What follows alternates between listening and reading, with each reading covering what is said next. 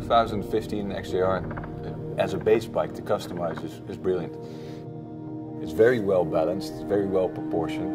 There's many bits and pieces on the bike which are great. But you can take those bits and pieces and make your own bike. 2015 is uh, 20 years anniversary of XJR 1300 and we have been working with a number of custom builders and this proves to be a perfect opportunity also for us to work with local custom builder which is Numbnuts Motorcycles. The Numbnuts are a collective of uh, nine friends who know each other from back in the day, high school, track time, um, from the bars. We established in 2012 and have been building and riding custom bikes ever since.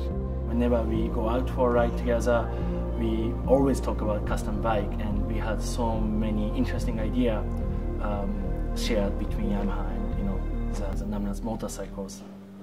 The inspiration for this particular yard build was a 1917 Fiat Botafogo Special. The color on that car is amazing. They used an airplane engine in, so it has a big displacement. So we took that big displacement of the XJR and the color and made it into a proper racing bike.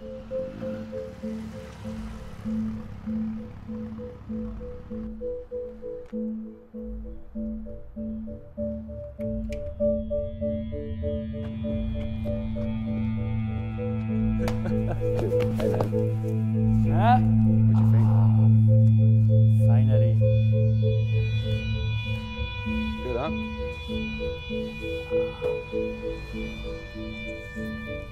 It's a great proposal, huh? The parts inspired by the uh, original Botafogo race car are the fairing, the colors obviously, the exhausts, the mesh. Also the, um, the wire wheels are, are a big part of the inspiration.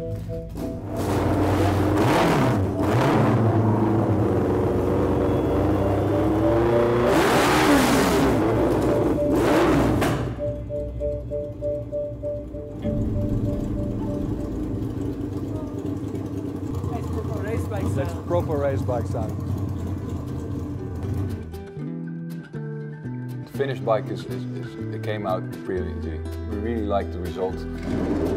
Numbnuts motorcycles did a um, great job realizing super beautiful Cafe Racer out of our XJR 1300.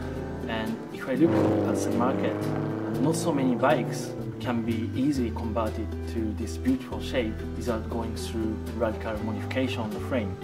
We built this bike with bolt-on parts in mind. Even the Borrani wire wheels are available from us. So the great news for the XJR 1300 owners is actually they can order those aluminum machined piece via Numbnuts motorcycles to add some extra personality on their bike. She looks like a proper racer, but a flick of a switch, you can turn on the lights and you can actually drive on the streets. So you wouldn't notice it, but it is actually a bike you could ride in the city. Not all show, there's a lot of go in it as well, and it proper, has a proper punch. I'm really happy with.